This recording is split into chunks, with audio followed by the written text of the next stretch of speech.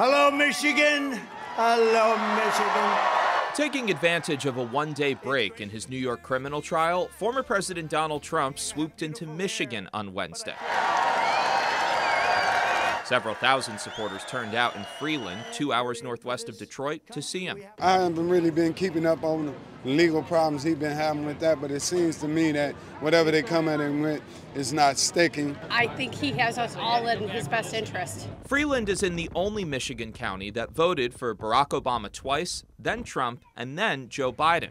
The local Republican chair says Trump can win back the voters he lost in 2020 if he leans into pocketbook issues and paints this election as high stakes. I think that many Americans feel like if he's not the president elected in 2024, that we're going to lose our country. In nearby Saginaw, we met Pastor Hurley Coleman Jr., whose son and grandson met one on one with Biden when he visited in March. My comfort and confidence is in the authenticity of what's being done by President Biden.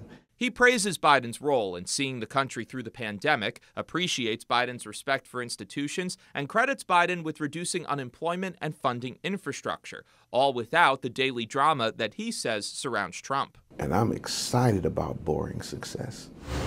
From Saginaw to Dearborn, we found younger voters not very excited about a Biden Trump rematch. It's not one or the other, it's neither kind of how I feel. Pretty much just the round two that nobody asked for, but I'm a little more pro Biden than most people my age, I would say. And in Detroit, we met Lexi Zeidan, a 31 year old Palestinian American who helped lead an effort in February that convinced more than 100,000 Democrats to vote uncommitted in their primary in protest of Biden's handling of the war in Gaza. Until we start having direct conversations and until there's actual uh, there's an actual ceasefire implemented, anything that they say to me is just it's breadcrumbs and it's not something we're accepting.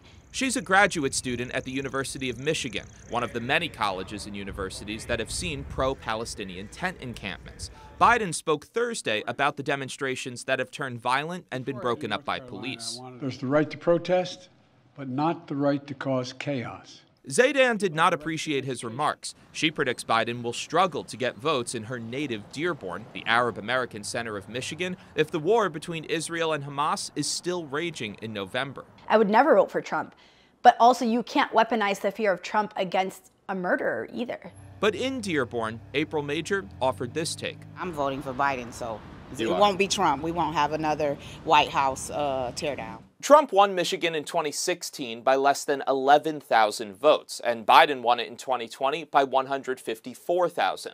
The conversations we had with voters made clear that Trump's legal troubles, Biden's handling of Gaza, and the economy will be factors in determining which way this state swings in 2024. In Washington, Taylor Popielarz, Spectrum News. Thank you for watching our YouTube channel. Let Spectrum News be your resource for balanced, in depth political coverage, and click the subscribe button right here. You can also download our app or watch us on TV to learn more about the candidates, where they stand on the issues, and more. We'll see you then.